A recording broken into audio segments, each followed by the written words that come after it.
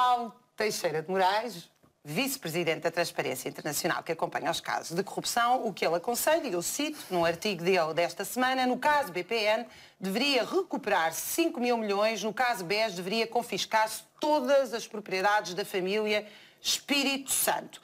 Há um gabinete de recuperação de ativos da Polícia Judiciária para fazer justamente isto.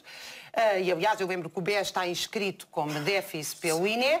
E o que ele diz é que o gabinete de ativos da Polícia Judiciária não recupera praticamente nada. Quando recupera, são, não são propriedades e ativos com muito valor, são carros de luxo, que ele dá um exemplo, mas que depois, por alguma razão uh, inexplicável, nem sequer os consegue vender.